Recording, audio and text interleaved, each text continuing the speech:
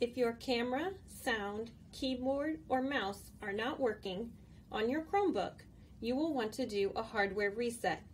You're going to do this by making sure your Chromebook is completely turned off and you have a black screen.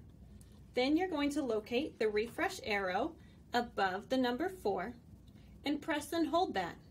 Then tap the power button one time and keep holding that refresh arrow until the screen turns on. When the screen turns on, you may let go of the arrow and log into the Chromebook and proceed with your activities as you normally would.